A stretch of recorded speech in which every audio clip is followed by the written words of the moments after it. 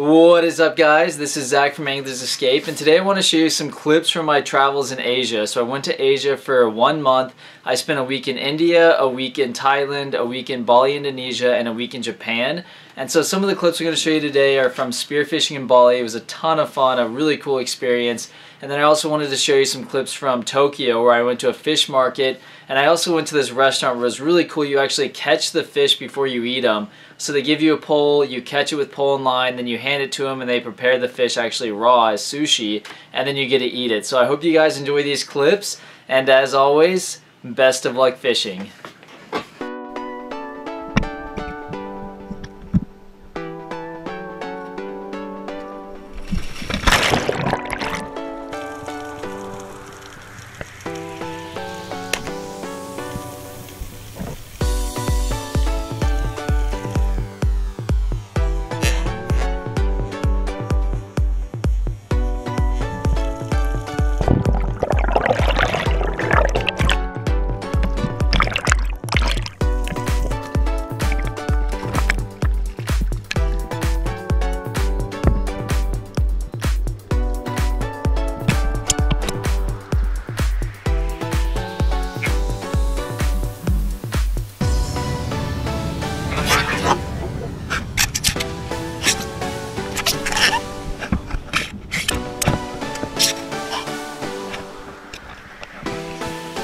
That got this snapper as well as this king mackerel and then he got a lobster. I got some smaller fish which uh, he took for the captain of the boat. Got this these nice slabs of meat so i'm to go ahead and try to cook them up tonight. This is our last night in bali. See what Coupleware this hotel has for the night that me and my friend are staying at.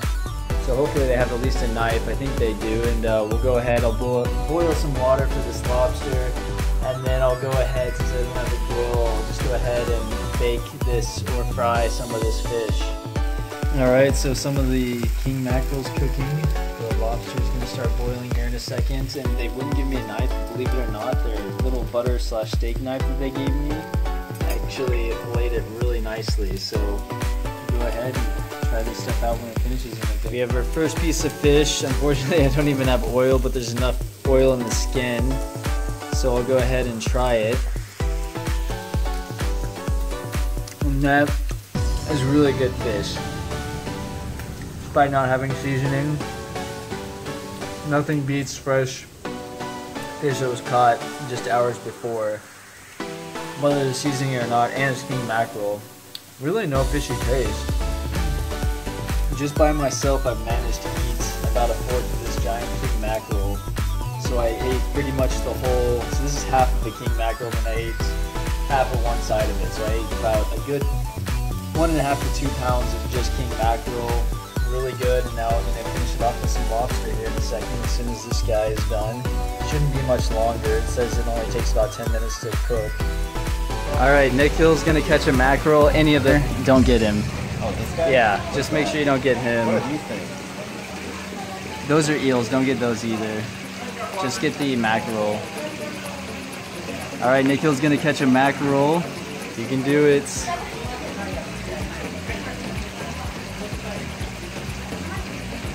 Oh, he took a nipple at it. Oh, you got one. All right. Grab the nets. Nikhil, get him in and have some sushi. All right, this guy is about to be our dinner.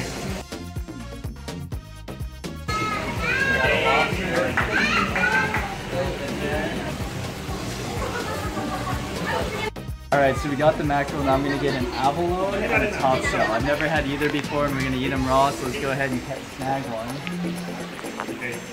Which one looks bigger, Nick? You gotta get a good size. That one all the way in the back. Or, oh yeah, yeah, yeah. Oh, that's a biggie. I got three on there, but I don't want to pay $40.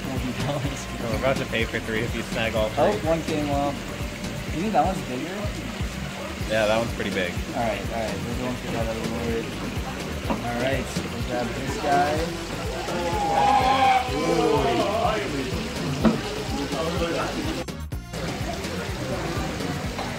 Alright, watch this. Here we go. He's in a good position. Line him up. Got him. Alright. Oh!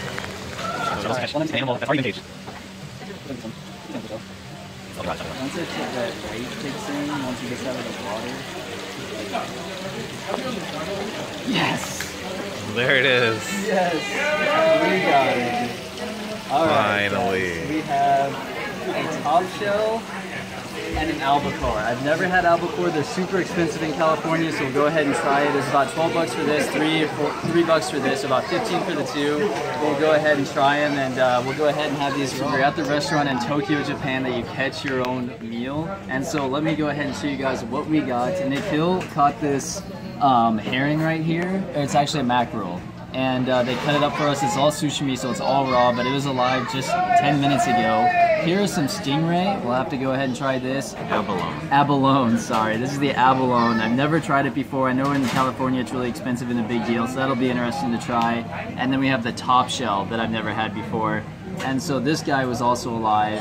Um, I guess I got the shell for a souvenir, but that one was painfully hard to catch. Let's go ahead and try a piece of each. I'll go ahead and try the raw uh, mackerel, but it's a little. I haven't. I've eaten very little raw fish, and it's pretty chewy, but it has good flavor. We'll go ahead and try some of the stingray. And that stingray's been dried, and it's from the stingray fins. And honestly, it tastes like teriyaki beef jerky. That's really good. It's like a teriyaki beef jerky, but a stingray. Now let's try a piece of the abalone. Still probably not holding these chopsticks right the right way because I'm not grabbing this very well, but wow, the abalone is extremely chewy.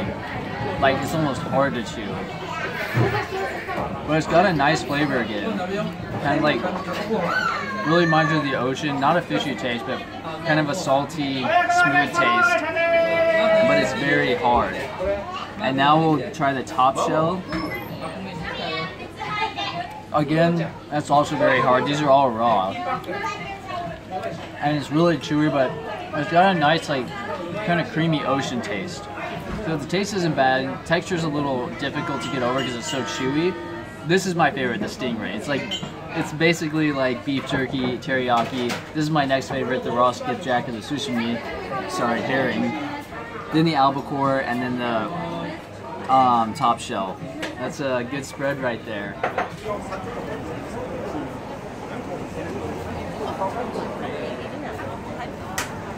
Start with the more dense piece of tuna meat. Basically, I'm not gonna have the rice because I've had so much rice the last couple days. But that's really good. Definitely not as good as this toro's gonna be. That's the real like main piece of the fish, the tuna. That's still excellent very good flavor. So we'll go ahead and give this a try. Mmm. That was a lot better than the lean one. A lot more flavor, a lot more buttery. No fishy taste though. These are all raw and it's cold.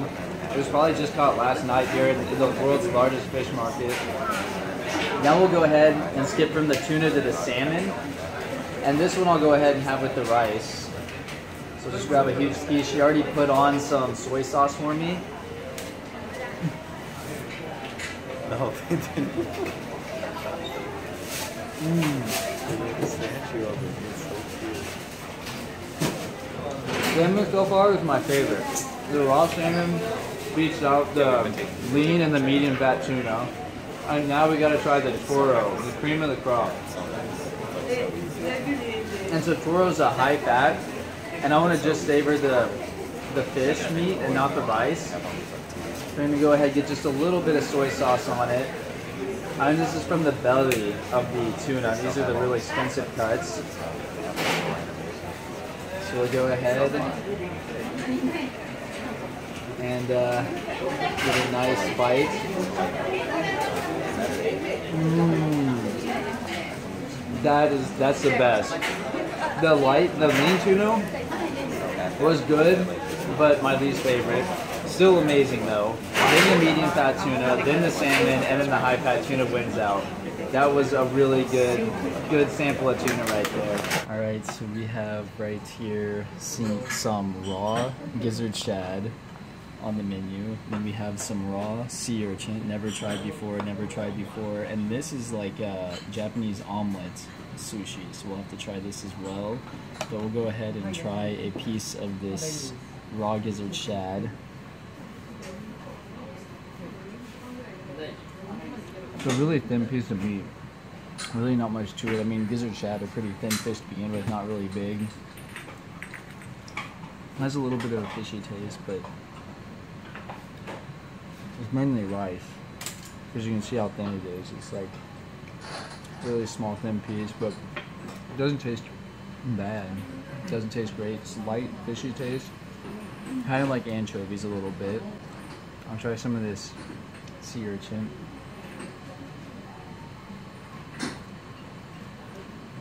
Hmm. This, is a really sweet taste, and that's really sweet tasting as well, but really good. All right, for three dollars and fifty cents, we got a nicely cooked fish. Go ahead and uh, uncover them here, but it's a big old mackerel. Is gonna be a great meal for three bucks. Quite a bit of meat right there.